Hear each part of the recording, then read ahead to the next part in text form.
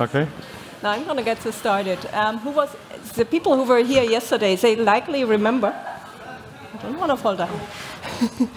they likely remember that I tend to have the ability to surprise people, but also to draw people into the city. So, how many of you remember the Log4Shell incident? How many of you had a lovely Christmas during the Log4Shell incident? so, when my colleagues went through that uh, remediation, I thought about, well, maybe we are not the only ones, but at least my colleagues could make use of a bit more education about security, about dependency management, about SBOMs, and about learning where dependencies comes from, like we heard yesterday right on that stage. So my first reaction to that was to reach out to Thomas. Hi, can you help us? And Thomas came back to me saying, well, you're not the only one having that kind of challenge. And that's when we got started discussing security and open source and free software and free software and open source in professional settings and what the challenges there are. I thought like, okay, there's this tiny security track here at FOSS Backstage. Maybe we can blow that up a little bit. So I got ahead and called, where's Paul? Paul from Plain Schwarz. There are people right over there. You likely remember me writing a funny email like, I have that idea to do something about it, to do something public about it, to have a conference on that. And that is the invitation that I would like to share with you that we will have, I think we should have a slide back there behind us. What we want to do is a FOSS Security Campus in autumn in Berlin focused solely on the topic of security in relation to open source covering many topics, covering A, what can projects do, but also like we heard yesterday from the Equifax incidents, and I've, I have a background at the Apache Software Foundation, so I remember the Equifax thingy. Also talking about what companies can do in order to manage their dependencies better and what they will have to watch out for. So handing it over. Yeah, so actually we had we started with the idea on the rooftop of Berlin Buzzwords and then uh, two years ago, I think, we had this uh, talked here in these rooms about this idea, and now um, it's evolving in a way uh, that everybody is now talking about supply chain security. I'm doing uh, Kubernetes in critical infrastructure, so it is a big topic. And if we look into it, um, nobody is really um, expecting what's, what's coming. So the developers are overwhelmed with new frameworks, new code all the day, and we cannot expect that every developer is able uh, to know the full implications if they change something. Or if they add a new framework. We have this dependency health, we have now dependency graphs, and we have uh, political implications because some of the intelligence services want to use this uh, vulnerabilities uh, to spy on other people. And uh, this is something where we have a technical impact. We don't even have a well-known architecture of what is a secure uh, software, what is what, what do we need to build software securely? And, and, and in the last project I counted, because I just copied this, um, the DevSecOps uh, cycle from from uh, a Cloud Native Computing Foundation, 14 steps and all. I don't even know an organization which is able to build software according to these 14 security steps, and there are, might even be more. So we have political implications, we have technical, ar architectural implications. Log4j shell was actually a bug from the 90s, so the Blu-ray recorders needed JNDI to download additional software, and somehow this made it into Log4j, and nobody noticed until a Black Hat talk was about this, and then nobody understood it. What he's talking about, uh, uh yeah, uh, this is this is a vulnerability. We have to track this. We have to be aware of it. We have now um, every uh, every project can easily create an SBOM If it is complete or if uh, perfect is, is, another question, but uh, the SBOM is also responsible for tracking security vulnerabilities. So we have now a lot of more measures to build software securely and track vulnerabilities. So we should use it to build more secure systems and yeah, make all our life better because what we also very often see security is used to shock people. If you don't do this, this will fail terribly. And uh, this morning we learned that this is uh, not a good idea of promoting uh, new um, new features. Security is not to scare people. Uh, we must be aware if we make our build systems, our software more secure, our life will get easier. This is the message we want to send. And you might have um, seen Gregor's talk, so I hand over to Gregor. Thank you, Thomas. Um, so one of the ideas pitched at this conference was that uh, given that I've been introduced by Isabel to being on this panel by being CC'd on an email, that I will attend this panel, which is a very good method to draw people in. And uh, this has been kind of shaping my thinking about uh, what we could do is we could try to use standards to allow for automated uh, for automated com uh, communications, like we do in a lot of places. Um, the open source community has developed various ways to communicate between people who have never talked to each other, because Git repositories are basically lines of numbers and letters and webhooks. And then we put those things next to them we call licenses, and we kindly ask strangers we never met to please treat those, people might call it pieces of art we put on there, uh, in a certain way. And we just had a talk today about people talking about automating license compliance tools and analysis to actually respect the wishes of those contributing to open source. And um, I was wondering if we could use this idea and put an additional set of information into those pipelines. Like, how can you reach the people? And if you find a vulnerability with my code, please reach out to someone else because I'm doing this in my free time and I actually want to enjoy holidays with my children and not be called two days after Christmas because there's a Log4j vulnerability in an open source repository of mine you use that I never sold you. And now you're forcing me to help you with your operative system because it's actually used in a critical infrastructure, which I also never asked you to do, which is what happened to a friend of mine. And then you can either go and try to fix your code used in a critical infrastructure, or you can tell people that you will be on vacation. And, well, he made the choice that most of us would, and went to the critical infrastructure. Um, so we could automate those things. And I think that this is in the spirit of this talk when we talk about standing on the shoulders of giants, which makes it very bad for people who are actually afraid of, hate, of heights like I am. Um, then the next thing you think about is how to build your shoulders that others then can stand upon them. And introducing what kind of documentation we want to send down the pipe um, might have been a way to have a worthwhile discussion to actually allow for reactions in case of security incidents. Well, when we talk about reacting to security incidents, I've been told that you have been doing quite, a, quite an amount of work on preventing them to happen. Right, uh, Tara? Yeah, so thank you. So I just found out one hour ago I'm going to be on this panel, um, but I was very excited too because uh, I'm, a, I'm a big fan of the idea that we should be, as an open source community, taking more of the lead in this security conversation. I've been, in the past couple months, in lots of conversations about uh, things like supply chain security, bug bounties, and all of that. And some of them were like led by policy people, some of them were led by businesses. And I think like there's increasing sort of recognition of like, yeah, I mean, open source is being now increasingly used and relied on. Uh, but yeah, sometimes it has bugs in it, like all code. So how do we deal with that? And I think, yeah, I mean, there's, there's, yeah, there is that argument, for example, that yeah, I mean, codes provided without liability or that we're not your suppliers in a, in a way, in a traditional sort of supply chain.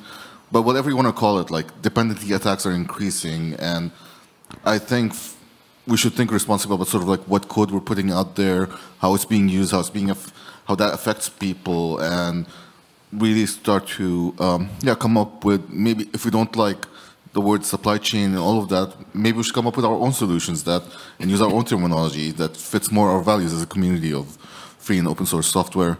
Um, and yeah, for me personally, like I'm, uh, I'm a technologist. I work with the Sovereign Tech Fund, and recently we've we're currently working on our um, so, so, some. We do want to support more of this work.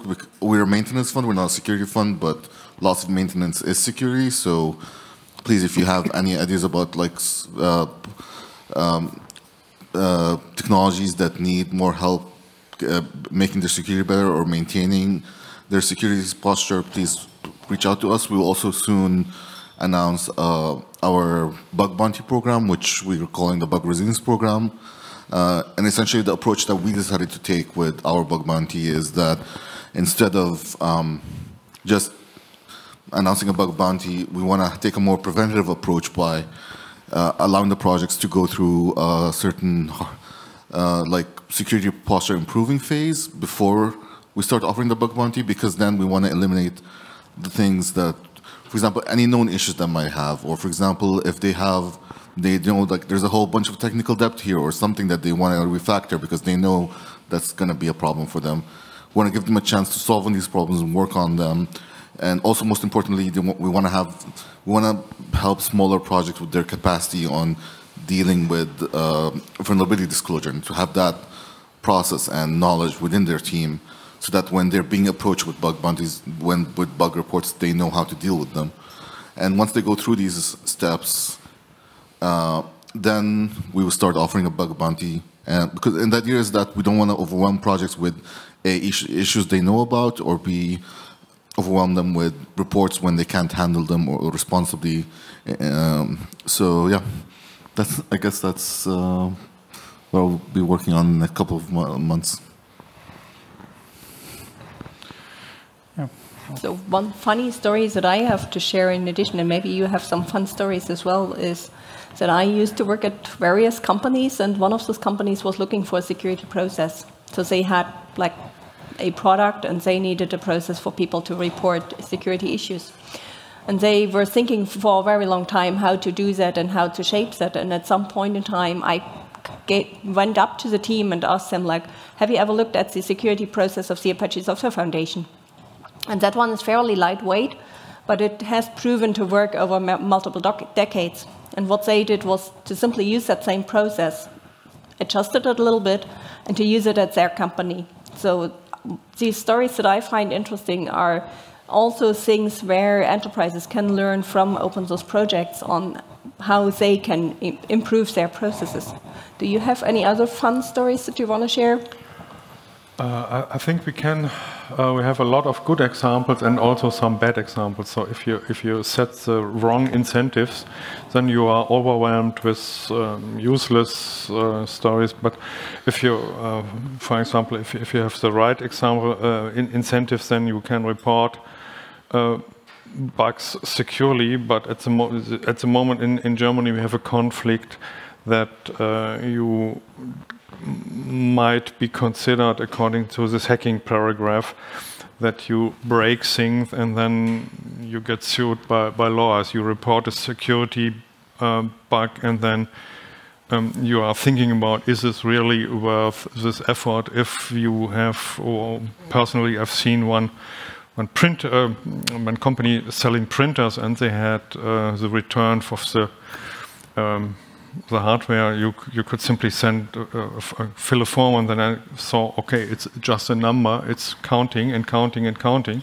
and then I went back, and then I found the completely complete user base, but I never reported it because and this company was known that they would immediately send the lawyers, and for the information you have uh, returned your printer cartouche. Uh, this was not really an important imp um, uh, information, but we have lots of these examples. So normally, if you work a lot with a software product, and look into it and look even deeper into it, it's highly probable that you found a security vulnerability. And then we have other teams like Zerforschung in, in Germany, so they spend whatever two hours on a Friday afternoon uh, finding a security vulnerability, and then two days in the weekend by reporting them in the, in the right way to, to the uh, authorities. And this is well, something Gregor can talk about. Well, that, that's a project we're working on. We, um, I'm a part of the Innovation Council Public Health and the function of a board member for press and policy. And we build open source software to empower public health centers. We are a child of the pandemic, and we built infrastructure that allowed for contact tracing in 54 health centers in North Rhine-Westphalia, Saxony, Hesse, and Thuringia, serving 30 million people. And um, during rolling that out, we learned quite a bit of things about how to actually bring good solutions to people who work in the public administration. And we found one thing that was true, which is that there are good solutions out there. You just have to look around. We wish Germany would have done that before they went for the Registermodernisierungsgesetz, which will internally digitalize Germany's administration. And they didn't learn from Iceland or Ukraine, but they had their own ideas, which are broken beyond repair by architecture. And I feel like this is an interesting discussion to have had, is can we learn um, to speak about architecture being an IT security issue? Because we can write down formalized checklists like we do um, in Europe with the Cyber Resilience Act, and we can say they have an SBOM, check. And we can see if they're license compliant, and we can see if they have a security TXT on their website. But if you build things in the wrong architecture, you can do whatever you want. You're never going to get that thing secure. And um, that would, I think, be a worthwhile discussion to be had because this also leads to the fact that security researchers sometimes have big problems getting through because they can argue that a certain infrastructure is going to be insecure, like if you allow for end-to-end -end encrypted communication between smartphones handed to the population and public health centers, input sanitation becomes kind of hard because it's like end-to-end -end encrypted. And um, then you can try to speak to people that this is a, that is this is putting public health centers at risk, and no one will listen unless you actually uh, make yourself legally liable and take down a public health center, which then again no one does in the middle of a pandemic. So we would need to find a way to communicate those questions. And I think it would be great if someone actually would have an idea because we're kind of out of cards. And there is a discussion of the European health data space coming up, which is currently the idea of putting the entire health data of the European population and put them in a federated database that everybody can access. We are not happy. So please, help. Um, yeah. I guess from my end, the story, I don't know why the story came to mind. Like, it was just, so lots of my job is also explaining to people why open source infrastructure is important, why it's important to continue to invest in the maintenance of open source software. So one of these times we're, we're trying to like write like sort of some sort of argument on like what's the actual like need, uh, uh, like how much funding is actually needed to fix all of open source. and uh, it's like that's obviously like such a big question, but we wanted like some a big like ballpark number. And I think at some point I was just trying to like how we can best sort of convey that and just googling things like how many bugs are there in Linux. but then I actually like discovered um, actually an article that sort of like tries to estimate how much bugs in by David Wheeler from the OpenSSF uh, Linux Foundation, and for me like it was a big aha moment because that's when I saw that he expressed sort of like not only bugs is like a function of lines of code, which I think like would be like my first sort of instinct, but it's also a function of time. So like um, yeah, it's like bugs per thousand lines of code per per year, and for me like that was for me like such an aha moment where yeah, I can actually like this for me is like something I can use to show people that like yeah, I mean obviously like the bugs don't just appear over time, like they're already there but the more code exists and the more that lives on, like code bases, yeah, people discover bugs. So that's why we need, we can't just invest now in security and say the software is now secure, just lock it, like, and, and not spend any more like fund, funding to maintain it in the future. So uh, that's came to my mind.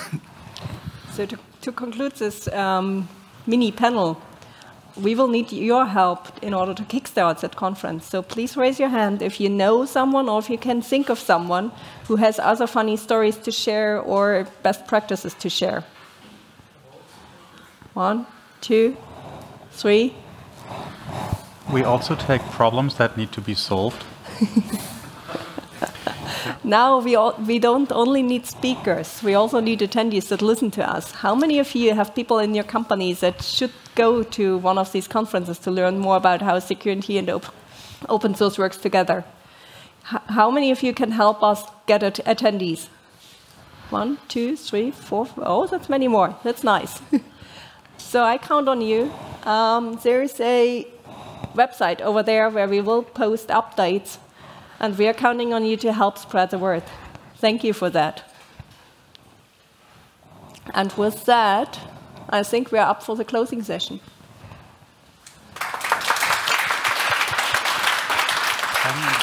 Um,